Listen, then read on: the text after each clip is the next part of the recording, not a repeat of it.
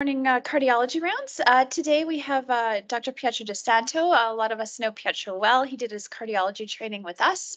he then went on and did an interventional cardiology fellowship and uh, is completing a critical care medicine uh, fellowship. Uh, he's also working on his PhD in epidemiology and public health. and he will be joining us as faculty upcoming this summer. So uh, we welcome him here today. Looking forward to having you join us. Uh, he's going to present rounds on uh, training involvement in clinical research, lessons learned from the Raptor study. So go ahead, Pietro. Thank you, Dr. Stadnik. Um, as uh, Dr. Stadnik mentioned, you know, I've been doing a lot of training so far. You know, I'm just in the process of finishing my 10th year of post-grad medical education. And um, over that time, I've you know, as I've progressed through internal medicine, cardiology, interventional cardiology, critical care, you know, I simultaneously tried to complete a PhD as well. And so I think I'm at the end of this, you know, 10 years of training, I feel well poised to give a, a bit of a perspective, uh, potentially a unique perspective on kind of trainee involvement in clinical research. And I'm going to do that in the context of the uh, Raptor study, which is a study that I started up with Ben Hibbert back in um, in uh, 2017, 2018, uh, when I was a cardiology resident. Um, and again, the purpose of this talk is not really the Raptor study itself, but more to just sort of provide uh, context uh, to some of these lessons uh, that I've learned over the years. I am just getting over this cough that's I've had for like two months, so hopefully I don't start having a coughing fit. um, sorry, give me one sec. I don't really have any disclosures to declare aside from the fact that I do have a desire to spark an interest in research in all of the trainees in the room and online. Um, I do think that there's a lot of value uh, to you know getting formal research training, um, but um, I acknowledge that that's not necessarily for everybody. But I'll try to convert those that I can. Um, we'll go over why I think research training is actually important. What are some of the challenges associated with uh, formalized research training?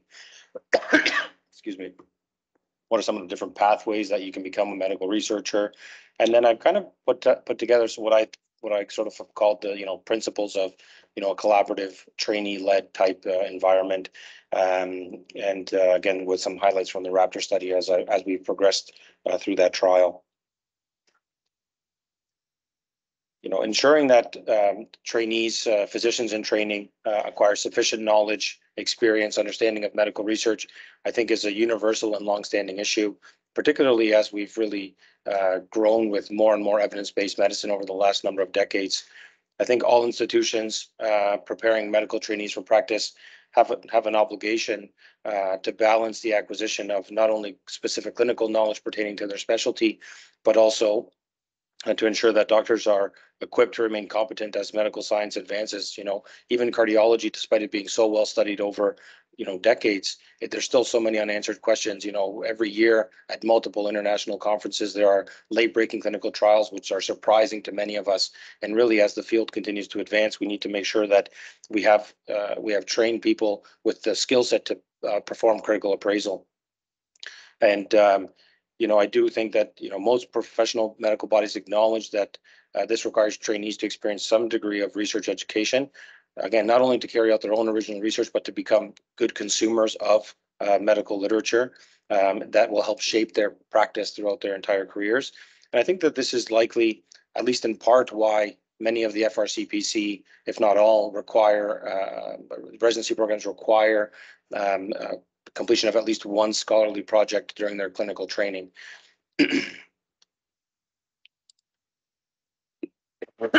Unfortunately, there still remain a lot of barriers to accomplishing what I think is an ambitious aim. You know, medical trainees are occupied um, with clinical practice, particularly those with like hands-on type specialties, including the surgical uh, trainees. Um, you know, they're trying to really balance the acquisition of not only clinical knowledge base, but also a practical skill set. Um, universities may not necessarily offer educational activities which are timely or accessible, and therefore that may result in some limited opportunities. I think some some trainees experience a period of research as a means to an end. You know, they feel that they need to, they're doing it because they have to do it in order to, you know, make their application more competitive for uh, subspecialty training, for example. Um, and they don't really embrace uh, the process of conducting research and and benefit from all the learning that can be provided from that. You know, and for those who do it, who do wish to undertake a period of formal research training, there are, you know, some difficulties in terms of different pathways that that can be explored within. Um, but there may be limited options overall and, you know, it can sometimes become difficult to, uh, or increasingly difficult to obtain time to actually conduct your research. Um, funding is always a, a bit of a barrier and, um, you know, funding for, for formalized research training can be extremely competitive. And, um, you know, I think trainees may ultimately, uh, they, there might be a, you know, lack of access to, uh, teaching or role models, um, to- that can inspire, uh, trainees to really, um, try to, uh, develop themselves as a medical researcher. And I think ultimately this can lead into like a self-fulfilling prophecy where you have some inadequate support. Um, you know, many trainees put off the idea of research altogether, or they start research, they start research uh, projects that are too ambitious or not feasible, which leads to um, failure and then further aversion to conducting more research. And again, you're in this negative cycle. And I think we do have the opportunity to break this cycle. And I, uh, I think fundamentally positive research experiences must be encouraged. Um, this is a figure that's probably familiar to most. Uh, Jeff Marbach, uh, former cardiology resident here, um, published this in JACC back in 2017, looking at our experience of developing a formalized cardiology research curriculum uh, in our core uh, program, and uh, has demonstrated that uh, in the blue bars there, with no formal research training compared to the orange bars, formal research training, that we've actually been able to improve academic productivity as measured by publications. Now, that's not the best measure, um, and obviously that's a limitation, but uh, certainly it's one of the measures that we use as a bit of a currency in our world uh, to really be able to document that you were productive uh, from a research perspective. And again, this, I think that by having opportunities like a formalized research curriculum within our program, we are able to um, uh, further foster positive research experiences, and that could break that self-fulfilling uh, prophecy and negative cycle. And Omar Abdel Razak, who's also joining on staff in in the summer this uh, year as a structural interventional cardiologist, who many of you uh, know, um, sort of further this work done by Jeff, looking at not only the the, uh, accomplishments during uh, training, but kind of looked beyond um, uh, into the early career phase, early career years, and and and beginning of the mid-career years in terms of academic productivity. Again, the orange bars demonstrating that um, more publications compared to uh, with formal research training compared to not. And um, I think that you know all of these positive research experiences could ultimately result in this lifelong kind of academic inquisitiveness, and um, um, you know, and and it could actually even translate into considerable uh, contributions, I think, to teaching, medical education, and uh, as a result, I I would argue that all of these things could potentially improve patient care overall. So how do we foster these positive research experiences? I mean, I think many of us are aware of informal research opportunities that exist. Um, this could be things like, you know, summer student programs coming, uh, summer students coming through uh, and, and helping out with a project or, you know, writing up a case report um, with a staff that uh, regarding an interesting case that you've seen on the wards or in the CCU, for example. Um, but then there are also formalized uh, pathways. And again, in, in, the cardiology residency program here, we've we've did under you know Dr. Froeschl, uh, we've we've developed this formalized cardiology residency uh, research curriculum whereby all of the first year cardiology residents, um, typically during block five um, of their first year, are all of them are on research rotation together. There are there's an opportunity for them to receive teaching sessions from uh, you know the medical librarians, from um, you know um, uh, from uh, Dr. Wells from a uh, sort of introduction to epidemiology perspective. There's also um, an opportunity for them to complete you know regulatory trainings like uh, GCP modules, etc. And uh, this is something that actually has has again I think um, demonstrated that it is effective, um, as I showed in the previous couple of slides. And it's actually something that I'm working with in, in the critical care medicine residency program at TOH to help establish within their ICU curriculum as well. Um, you know, I think the ICU there does a lot of research already, uh, but really there's not a lot of trainee involvement compared to at the Heart Institute, where many of our residents are on the front lines of clinical trials, recruiting for studies like Safari STEMI, Capital Chill, um, you know, Do-Re-Mi, um, uh, et cetera. And so really, I think, um, uh, you know, I'm going to try to help them develop a bit of their program so that more of their critical care fellows are able to participate in in uh, in research during their two years as uh, as a critical care fellow. I think also there are formal research training pathways, um, including the MD PhD program, which many of you are familiar with, the clinician investigator program, and then the clinical clinical scholar roads, and and uh, just kind of dissecting those a little bit um, more. I think that the main thing that I want to highlight here is that you know these formalized research training pathways are limited to a select few individuals, um, and I think that um, you know if we just limited our our um, our teaching of research methodology and how to conduct re, you know rigorous research to just the people that do these next few programs or, or go pursue these streams, I think we're actually doing a disservice to the vast majority of our trainees. For example, in the MD PhD program, they only take four students per year, you know, and um, this is divided up into two years of pre-clerkship, three years of a PhD, not in epidemiology, so it can't be an epi-based uh, PhD, and then um, and then uh, subsequently two years of clinical clerkship, and again limited only to four students. Similarly, the clinician investigator program, which is actually how I'm completing my PhD, and I'll get into that in just a moment, uh, only takes two to four residents per year. Again, limiting it to the number of people that are able to pursue formalized research uh, training during their during their um, either undergraduate or postgraduate uh, medical education. The CIP program is divided up into two different options. Broadly speaking, there's the graduate studies options, and those are for people that don't have a grad degree already uh, that can pursue either a master's or a PhD um, during two years of dedicated research time. And there are different pathways in which you can do that. There's a, you know, a um, sort of a consecutive stream where you do take two years off in the middle, for example, of your general surgery residency between, you know, your PGY four, five years would be dedicated research. Then you'd return to clinical duties um, um, after you've completed those two years. Or what I had done is actually a fractionated pathway. So uh, during, uh, I completed my first year of cardiology residency clinically. My second year, so my C2 year, I actually did a one year dedicated research year. So like 13 blocks of research electives, if you will. And um, I was able to do all the coursework for a master's and actually then fast track into a PhD program. Um, and then I completed the remaining two years in three to six month increments of research over the rest of my training uh, in a sort of dedicated fashion that way. They also have a postgrad studies option through the CIP program where um, uh, it's for those who have already completed a graduate degree and wish to further their research career development in kind of a postdoctoral uh, type setting. Um, and again, this is limited to only a few uh, residents per year.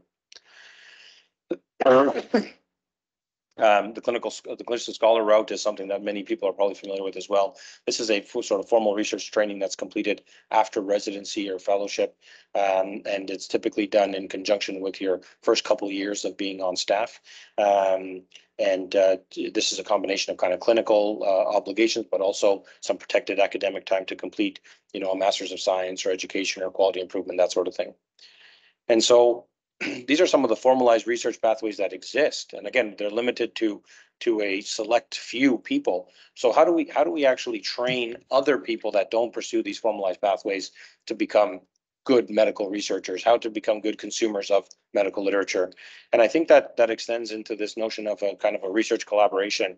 And um, you know, I think historically, as I said, trainees you know, kind of self-identified or were assigned a mentor, a research mentor, and together they would develop a project that the trainee um, would see through to completion, starting with things like, you know, protocol development, ethics applications, data acquisition and analysis, uh, ultimately manuscript preparation and submission. And again, these are kind of like your summer students or your residents requiring, uh, completing a um, scholarly project as required for their training program. Um, but This scientific is work not is, what it was built to be. sorry, Smells good down. some, Mhm. somebody's, uh, Did you notice? mic is on. Dr. Dr. Redpath, uh, Dr. Beanlands is saying your microphone is on. Um, so as I was saying, there's kind of this traditional kind of mentor-mentee relationship, kind of one-on-one. Um, but scientific work is increasingly being done, excuse me, by collaborative networks, which have these common interests and goals with respect to performing rigorous research. And, you know, these networks could be local, multi, multi-institutional, or even international.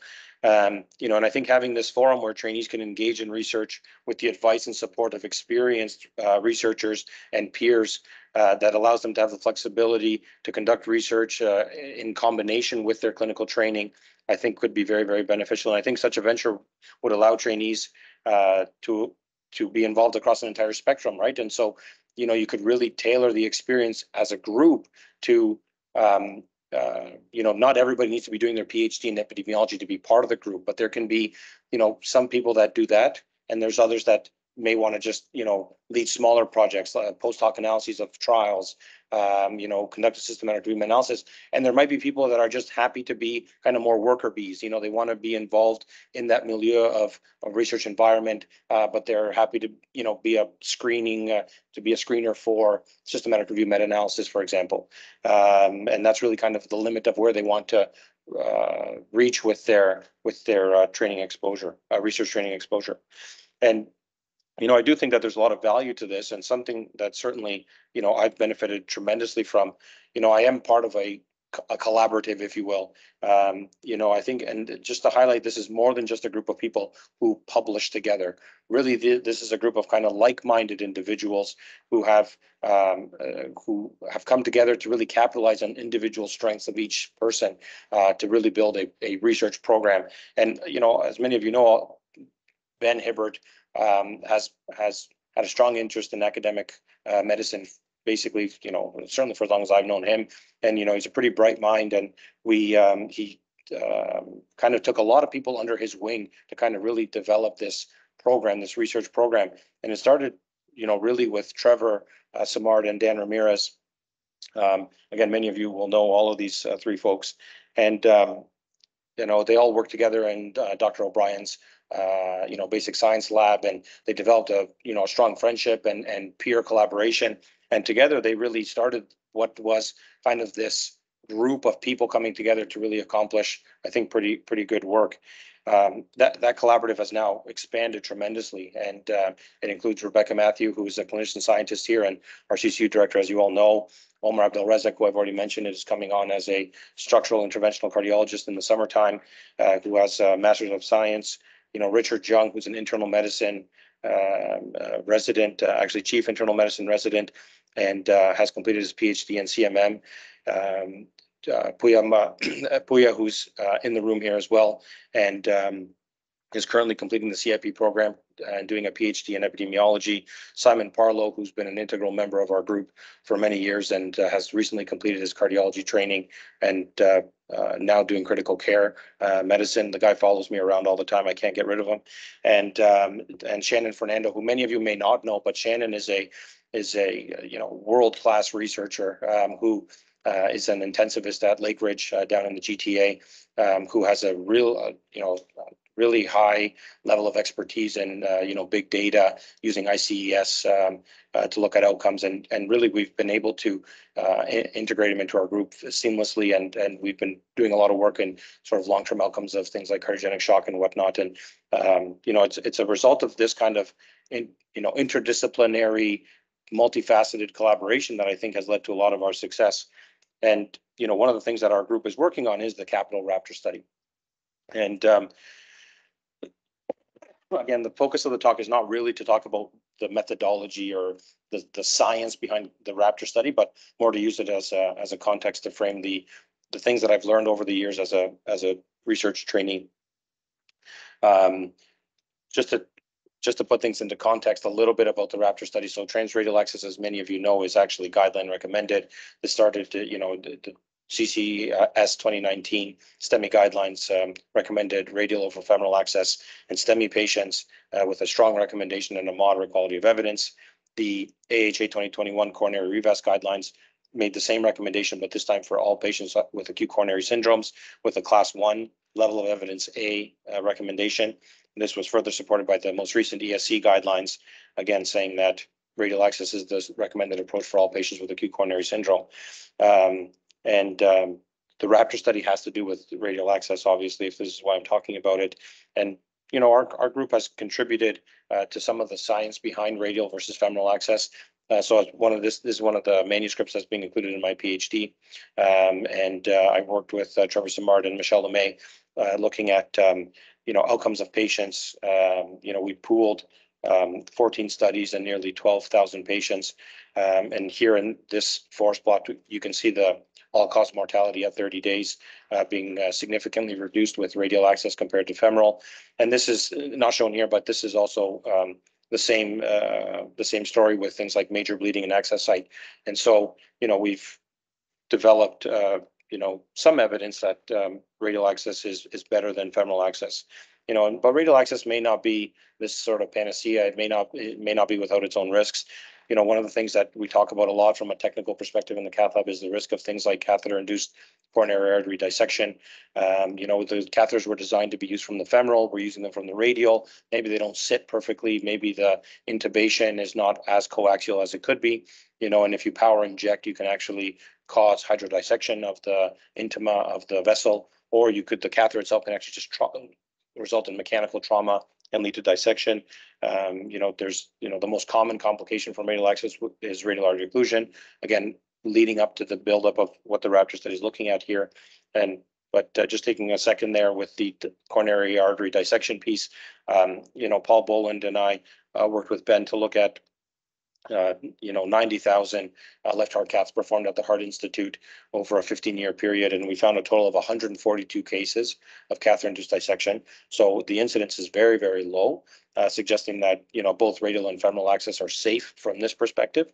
Um, and you can see here that, you know, we could, this is a, the central illustration from the, from the paper where um, to, on the left side of the screen, you can see when we were predominantly transfemoral prior to two thousand and twelve, um, the incidence of catheter-induced dissection was actually much greater from the radial than compared to the femoral. But as we've uh, adapted to the learning curve associated with radial access, um, that incidence of um, uh, catheter-induced coronary artery dissection has decreased dramatically. And really, there's no difference now in terms of radial versus femoral on kind of an all-comers uh, level uh, uh, when you look at it in- in all comers.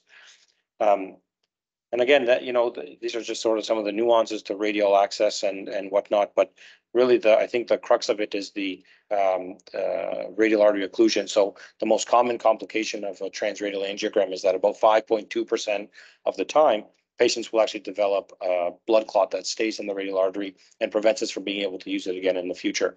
Uh, and that's what really led to the, the Capital Raptor study, uh, it's, itself, where we're using rivaroxaban to see if we can prevent radial artery occlusion.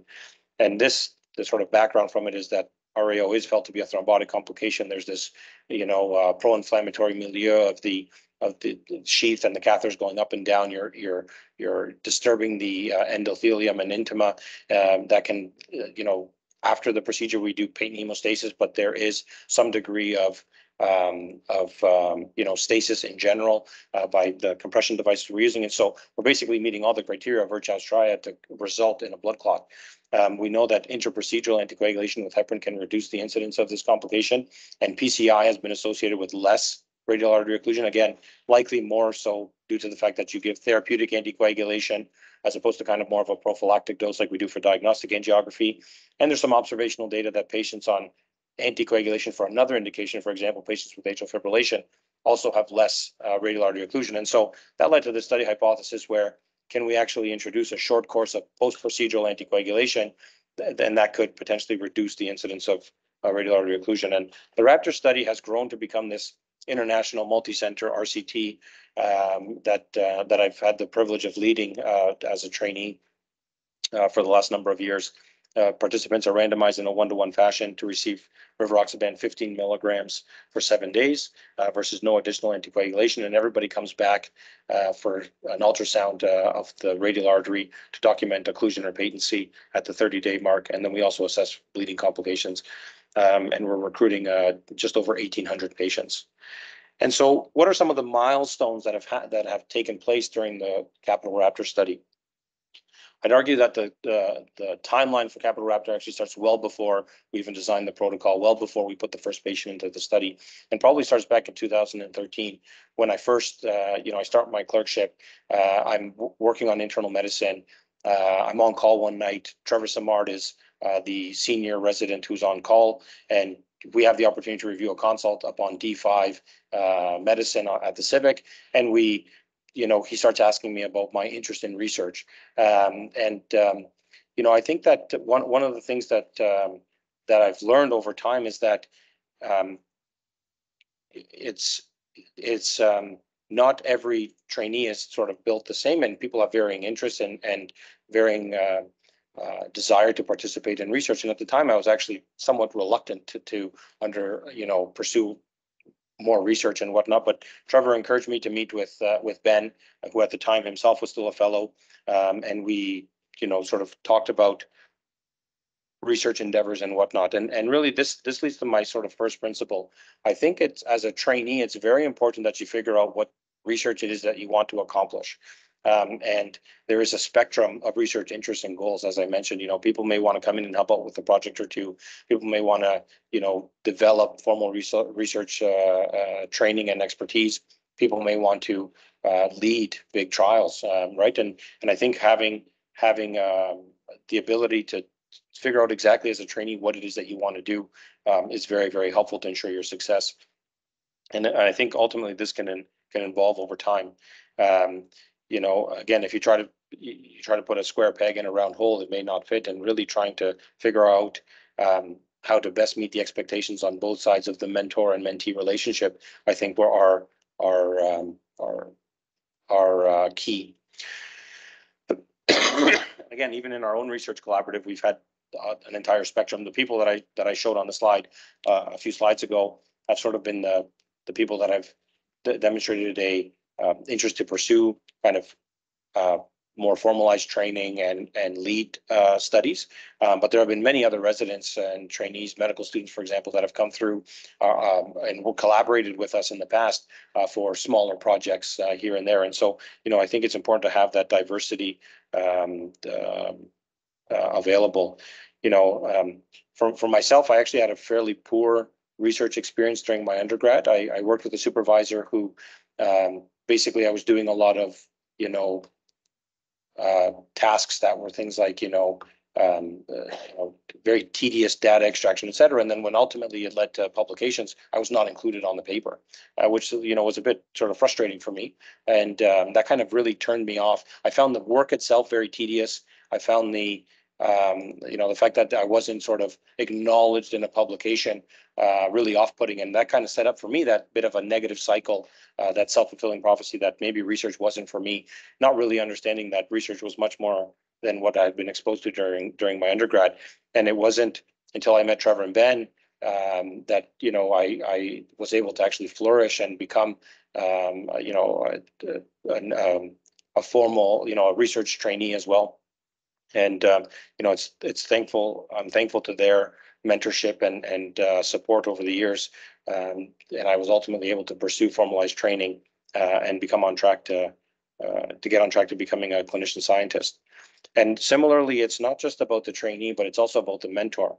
I think that um, you know your research mentor should have attributes uh, from which the trainee can learn. And um, and it, i think it's imperative that as trainees in research we identify inspirational mentors who are who are, you know, fairly charismatic. They endorse, um, you know, a, sort of a collective enterprise. They they lend authority and they they give credibility to the work that's being done. Um, and it's and it's more than just guidance. I think a mentor should offer research experience, confidence, direction. Um, they should they should be asking the right questions. They should be dissuading poor ideas, which can be very challenging. Um, but uh, I think having the right mentor is key to to um, to um, advocating for your success as a as a research trainee. I think ultimately this can be very very difficult to achieve, and and even people who you think might be great mentors may not be, and it's really difficult sometimes to sort of back away from a relationship that's been established if if it's not being fruitful for either party, right, to the mentor or the mentee or the overall sort of research mission of of a particular group. You know and in my case i i think i've benefited tremendously from from two great mentors again Ben and, and uh, uh, Dr. George Wells have been instrumental uh, to my success over the years. And, you know, I, I'm lucky I did find the right mentors. I, um, you know, Ben's clinical um, experience and, and uh, research vigor uh, combined with Dr. Wells's, you know, profound methodology experience has been instrumental uh, to shaping me into becoming a clinician scientist. Um, the next milestone that I think, again, is still before this Raptor study starts. I think that it's important to recognize that it's important to work as part of a group. I think I've tried to highlight that already, you know, and I think you really want to develop that that network. I think that, that your collaboration should be formed by members that can help build experience, learn skills, share responsibility, you know, encourage uh, participation and provide support to new and longstanding members of the group. Um, this isn't limited to local networks. In fact, um, it can extend to national or international uh, uh, collaborations. Um, excuse me. Um, I think these collaboratives should build on strong links uh, with supportive academic faculty, which can offer technical skills, knowledge, rigor, uh, depth and experience for the do's and don'ts of research. Um, and I think it's fundamental to really surround yourself with the people who will help you uh, flourish and be successful in your research endeavors. Um, you know, for trainees, I think being part of a network and a group of people can be really helpful. Um, you know, because if everybody's kind of, you know, if you have a resident champion on one particular project, but other people are able to come in and help keep things moving along and work together to see a project be completed in a timely fashion, you know, I think the quid pro, the, the quid pro quo here is that you're actually able to, uh, you know, get your names on more papers. And again, not the best measure of academic productivity, but certainly the currency that we currently deal with uh, in terms of demonstration of research uh, success is manuscripts published, right? And so, um, you know, it gives you an opportunity as a trainee to be involved with a group that, you know, hopefully will lead to more co-authorship as well. And in the Capital Raptor network that we have, you know, we've got a spectrum of, you know, trainees and that, that, uh, you know, um, has been very successful in terms of uh, assisting us with recruitment and follow-up of these patients. Um, you know, all the cardiology residents and interventional cardiology fellows uh, help assist with recruitment and identification of patients. We've got very supportive uh, faculty. So, you know, Ben, Ben and I started the trial, but obviously I'll get to it in a, in a little bit. But when Ben left, um, you know, Dr. Labinaz was able to step up and be the site PI with all of his uh, research experience. Um, you know, we've got a, a national and an international network that's uh, developing uh, with Dr. Bunasar in, in Kingston uh, and uh, with Dr. Simard at uh, Mayo Clinic. You know, we've really been able to establish, I think, a very key network for this particular trial as well.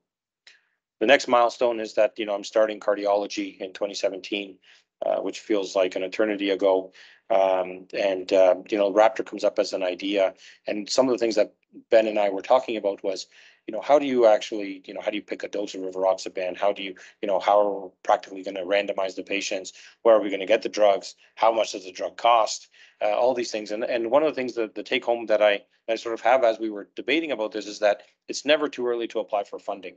And I think that one of the things that, you know, we can lead to a lot of disappointment is that you, you apply for funding, you put a lot of work into it, and you don't get the funding. And you know that can be a bit discouraging. And I and I mean I think that's the life of an academic uh, physician in general. Um, you're disappointed more often than not when it comes to funding applications. But you know I think there's a lot to be said about granting uh, grant funding applications as a learning opportunity. You know in the Raptor study, I had the opportunity to apply for various funding uh, strategies, including CIHR project grants, Heart and Stroke Foundation, um, and even smaller competitions like the CCS Bayer Vascular Award, um, which was the only funding we've we've received for the Raptor study, um, and I was awarded that at, in the fall of 2019. Um, it's a very small research grant to to help fund some of the uh, drugs for um, the for the rivaroxaban for the study, and you know, but I think that putting together these grant submissions was a great learning opportunity uh, for me as a trainee. You know, you're you're you really have to work on your ability to uh, kind of sell your protocol in a way that you think would be uh, well received by the reviewers of your funding application, um, all while still, you know, being busy clinically um, and working on other um, research initiatives. And I think there are increasing opportunities for trainees to be involved in funding applications. I think having trainees um, listed as co-investigators uh, on uh, CIHR project grants, for example, is a really good way to get them involved. Um, um, even at the NIH in the US has actually dedicated fellowships, uh, uh, sorry, dedicated funding pools for um, fellows, residents and fellows who are completing clinical trials. There's a completely separate pool that they can apply to to get some funding. Obviously, the uh, the amount allocated for these for that funding initiative is much less than some of their bigger, you know, randomized clinical trials, but there is at least some recognition at the NIH level that this is a, a fruitful thing to invest in um, to have trainees be successful with their research. Um, ultimately, funding is fiercely competitive. Um, and, um, you know, I don't think that a lack of successful funding decreases the merit of the work in any way. And at a minimum, if nothing else, again, taking it as a learning opportunity, um, what I, you know, it, I, there are, I have colleagues of mine that have been interested in research, et cetera, but haven't really pursued formal research training, haven't been involved in funding applications, and now they're on staff and they're being asked to submit granting applications or be co-investigators on on projects, and really they've not had the opportunity to do it. And so, I, you know, I've been very fortunate that the Raptor study itself has, you know, uh, given me the opportunity to submit um, funding uh, applications um, prior to being on staff and submitting them as, you know, nominated uh, principal investigator. The next milestone was in twenty eighteen when we recruited the first patient. And, um, you know, I think, boy, there was a lot of learning to be done. You know, the balancing act of clinical duties and uh, research uh, and conducting research is, is not to be uh, understated. It's really, really challenging to find the time to do everything. You know, I think there are, um, uh, there a couple of important things to remember here is that, you know, a trainee's time is not limitless. And um, there were times where I felt that, uh, you know, I had a lot on my plate. Uh, but again, being part of a collaborative was really uh, helpful in terms of making sure that there were enough people to help out with projects to ensure that they're going to be successful uh, while not feeling totally overwhelmed. And I think there ultimately are some pros and cons to dedicated uh, research years. So again, as I mentioned, during my second year of cardiology residency, I was able to participate in 12 months consecutive of research uh, where I completed the coursework. And it was really nice to have that time to build the foundation um, to build the foundation that I was going to continue to build upon over the rest of my training clinically and, and research wise. Um, but I really like the fact that I did the fractionated program because then I had to integrate um, sort of ongoing research um, with my clinical day-to-day practice, right? And it was um, nice to have the dedicated time, but that's not realistic of how your career will be in the future.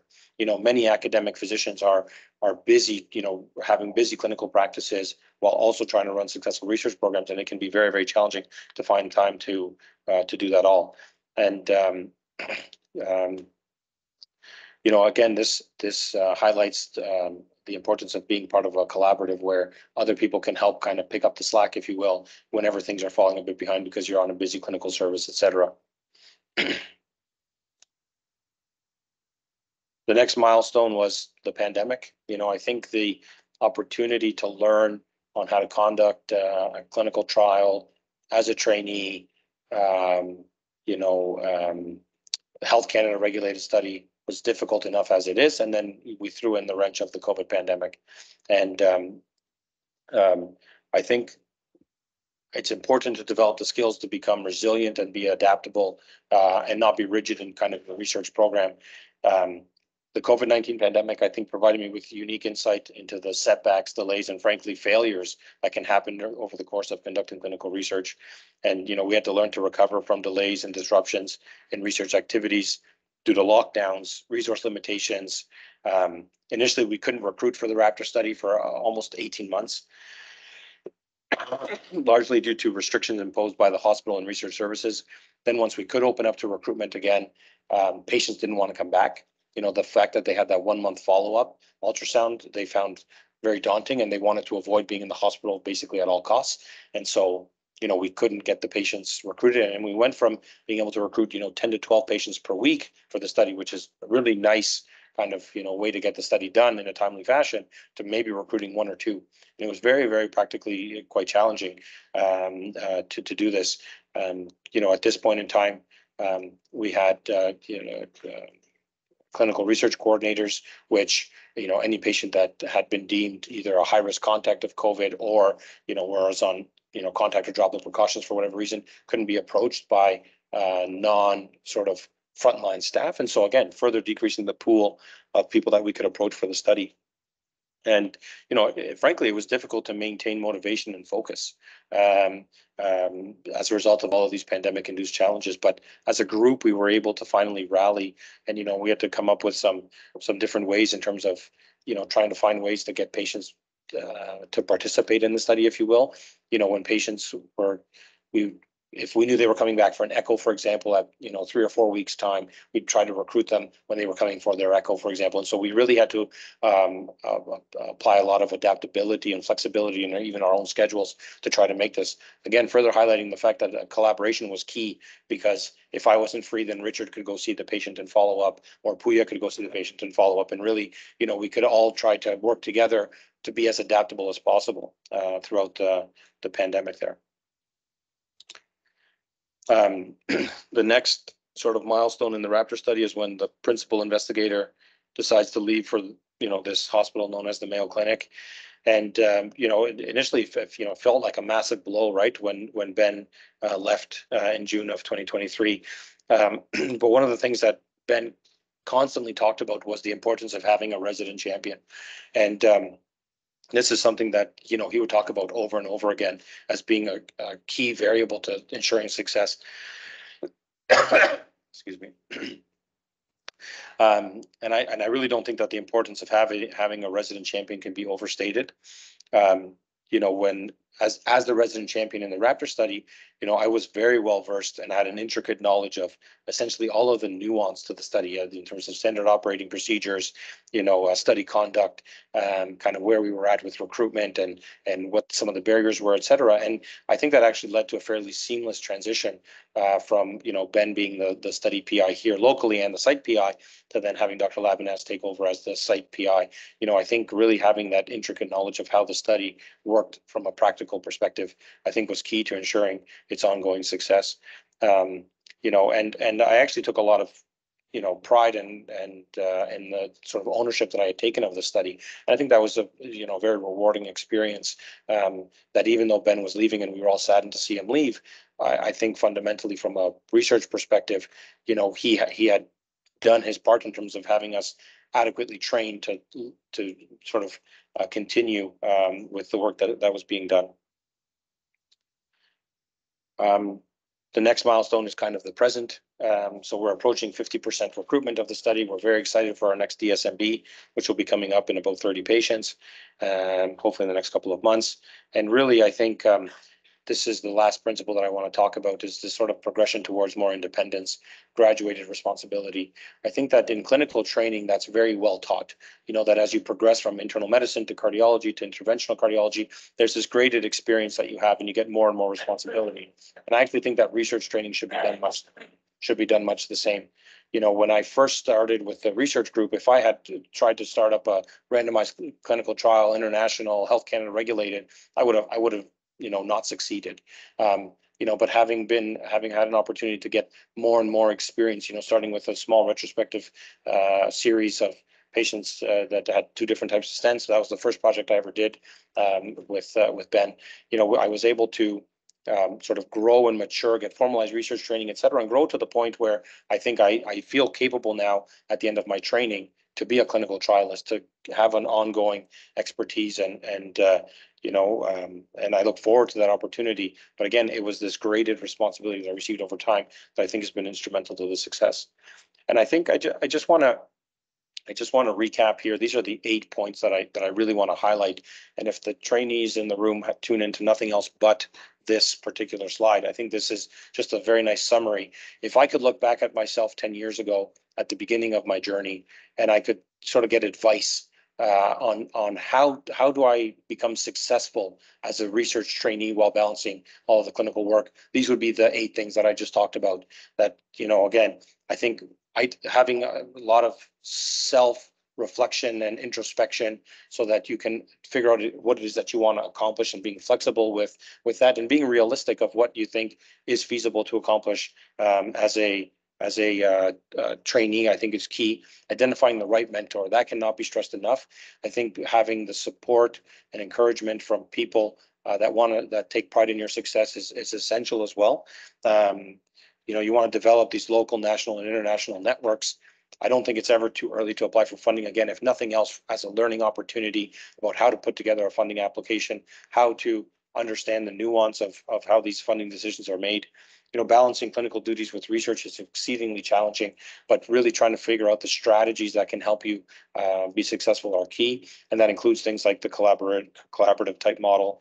Um, you know, being able to develop the skills of resiliency and adaptability you know, the importance of really championing your projects, right? Um, nobody cares about the projects like you do if you're the resident champion, you know, like, you know, right now, for example, Pouya is getting the sedate trial up and running in the CCU. Pouya is on call basically twenty-four seven for the study. He is truly the resident champion. He's able to, you know, he's available to the cardiology residents twenty-four seven if they need anything. If there's questions about candidacy eligibility of a patient, he's available even in the middle of the night. He came in on Mother's Day uh, to help recruit uh, a patient. You know, uh, you know, it's um, it's um, really I think having these trainee champions will really help um, projects succeed. And I think adapting to trainee growth over time is a must. Again, that graded responsibility like we get clinically, we really should be getting uh, and from a research perspective as well. And I think that, you know, there are so many great projects that can be accomplished and have been accomplished here. And I, we have at at the Heart Institute, I think we've got this culture that trainee involvement uh, is essential in research. And uh, this list is not meant to be exhaustive in any way, and I apologize if I've missed anybody. Uh, but, you know, I just, I, I think it's just, I want to highlight a few uh, people here. So Ronan Mays, who uh, finished, I think, in twenty fourteen or twenty fifteen. Um, you know, he was kind of the, the resident lead behind the Capital Chill study, um, you know, and, and really worked hard uh, to get that study up and running. Um, you know, a, a landmark paper, I will, if you will, in, in, in uh, patients treated with uh, um, therapeutic hypothermia. Juan Russo, um, you know, he published a paper in JACC looking at vi- different venting strategies in VA ECMO patients, a paper that's been cited, I don't know, 200, 250 times now uh, in the last couple of years. Um, Rebecca Mathew and I co-led the Doremi study, um, again, all as trainees. Uh, Jason Roberts published the Rapid Gene study in the Lancet. Ali Pourdjabbar performed the uh, Opticross study, which was, uh, you know, an RCT looking at how to switch patients between antiplatelets. Um, you know, Lee Sterling um, has um, really taken charge of the Lotus, um, which is the long-term cardio, long-term outcomes of of uh, sort of ICU survivors, um, and uh, looked at the cardiogenic shock implications and published what I think will be a sort of seminal paper on on you know their outcomes. The first description of long-term outcomes of patients with cardiogenic shock in JACC just this past year. You know, Simon Parlow led a uh, the iRadial cabbage study, which was looking at photoplethysmography uh, using an iPhone to look at circulation to the hand before patients went for radial harvest, radial artery harvesting as a conduit for bypass surgery, you know, published in circulation. Uh, Jeff Marbach uh, published uh, in the Annals of Internal Medicine this um, the implications and the diagnostic accuracy of POCUS in cardiovascular medicine. Again, a paper that's been cited, uh, you know, countless times. Uh, Dan Ramirez led the charge on sex bias in preclinical research.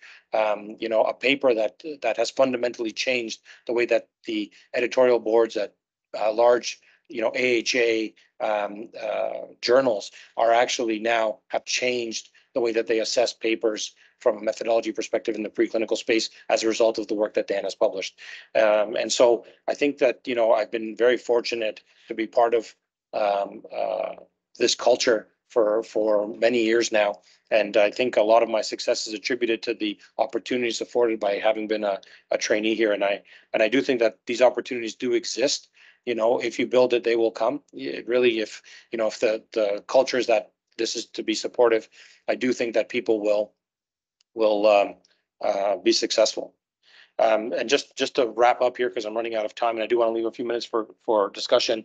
You know, now that the training is quote unquote over, what's happening next? And as, as uh, Dr. Stadnick mentioned, I'm starting on staff as an interventional critical care cardiologist here at the Heart Institute. Uh, and um, I think the evolution from trainee to mentor has already started for me. I've, I've, you know, I take a lot of pride in being a peer mentor to a lot of my colleagues uh, within the collaboration. And I look forward to using my recent experience as a trainee, um, having gone through all of this training uh, to, to really help, you know, the next generation of trainees be successful in their academic uh, pursuits. And we have many exciting projects in the works. Capital Minnows is a study that I'm co-leading with Ben, which is looking at transcatheter edge-to-edge repair for severe mitral regurgitation in patients with inotrope-dependent cardiogenic shock.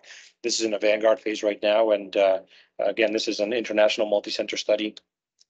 Well, as many of you know, we're uh, Rebecca and I are co-leading the uh, uh, Capital Doremi two study, which is looking at inotrope versus placebo for the management of cardiogenic shock. Um, Dan Ramirez um, is uh, working with Pouya to look at this at the sedate study, so using dexmedetomidine uh, for patients in the acute treatment of electrical storm. You know, a study that I'm happy to be on the uh, trial steering committee for. And really, I think these are just uh, you know a couple of examples of some of the work that you know we're hoping to continue to accomplish um, uh, predominantly in a CCU space here, but also in the cath lab for me. I think there, there's a lot of great uh, work to come. And again, I couldn't have gotten here without so many different people, um, you know, mentors, peer mentors, uh, people that have been truly supportive over time.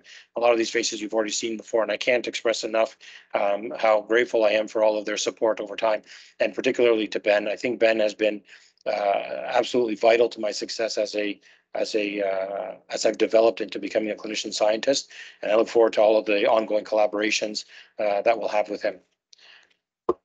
Thank you.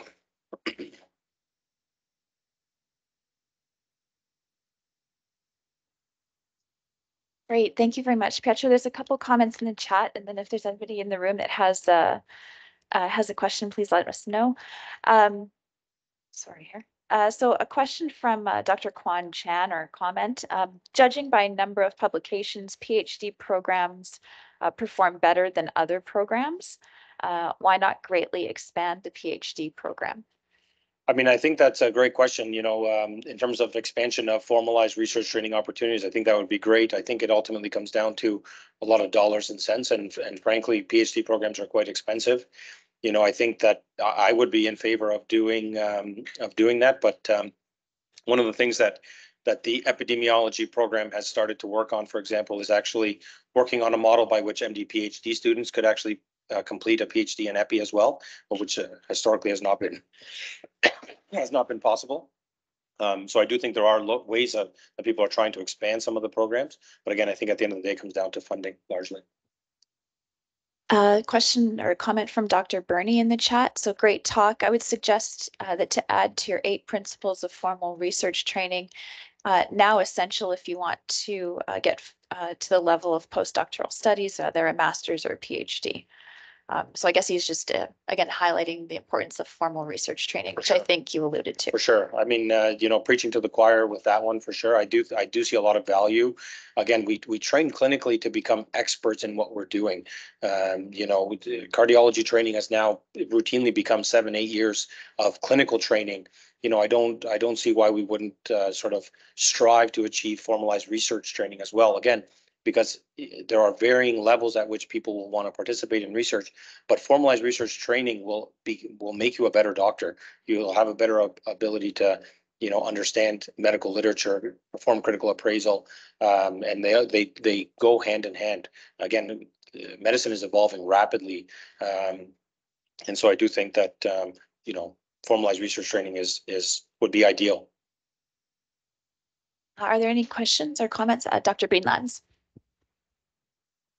Thanks, Pietro. Great talk, and congrats again on your award. Thank you. Um, uh, fantastic to see the your progress through the ranks too. Um, uh, so I have a question about. Uh, I think it's great that the program identifies uh, early the training for research and so on. Um, on the other side of the coin, there are many investigators who would love to be working with trainees. And I don't think we've always connected those do- dots as well as we could. Um, how would you propose to enable that for other areas, uh, people, other investigators wanting to enable trainees, et cetera, et cetera? I think that's, that's a great question. I, and, and again, this comes back to finding the right fit for each individual trainee and for the mentor as well. You know, I think that, um, there are varied interests, right? If you have no interest in interventional cardiology or critical care cardiology, coming to do research with our group is, is, you know, a bit more challenging, right? It's not impossible, but it is more challenging versus if, you know, you envision yourself becoming a, an imager, going to work with people like yourself, I think would be a great opportunity. And I think that one of the things that we can do is, um, you know, and, and this has historically been done, although I don't think it's updated regularly, is kind of having this ongoing list of people who are interested in taking people under their wing. Um, and, um, uh, with potential like research areas that then can sort of be connected, uh, in a formalized way. Um, the Department of Medicine does do that a little bit with their internal medicine program. Um, they kind of have this Excel sheet with lists of names of people looking for trainees to be involved in work and kind of what they're working on. Um, that might be something we could explore here. Um, I don't know if like having a bit of like an, uh, an exhibition type day, like an expo where, you know, the staff can kind of like be available in an informal setting, uh, you know, and, and just sort of discuss some of their, you know, roundtable type discussions about what their research programs look like. And again, I think, you know, this all starts from the ground up. I think, you know, if, if as a, as a mentor, you're able to identify one or two key people that have an interest in this particular area, and you really take the time to nurture and cultivate them, that will continue to grow and propagate. You know, um, uh, you know, it's, you know, frankly speaking, we get a lot of emails regarding, you know, medical students, uh, residents who want to come and do research with our group. And I think a lot of it has to do with kind of the reputation that's been established, right? And I think that um, it, it took a lot of work, particularly on Ben's part, to get that, that momentum going. Um, and um, I think as a, as a mentor, if you try to invest the time and effort into that, I think, you know, hopefully that would improve um, the ability to have varying research opportunities available to, to the trainees. Excellent. Thank you very much. Uh, that brings us to the end of rounds this morning. Please join us next week. Dr. Scott Millington is going to be talking to us about uh, the uh, virtual ICU program that they've developed. Have a good week. Thank you, everyone.